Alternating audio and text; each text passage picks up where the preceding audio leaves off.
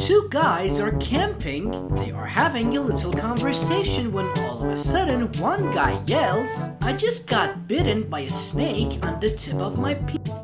The other guy says, Don't worry, I'll go into the town and ask a doctor what to do. So the guy goes to the nearest town and after 30 minutes, he finds a doctor. He asks the doctor, Doctor, my friend just got bitten by a snake. What can I do? The doctor says, Calm down. All you have to do is suck the poison out.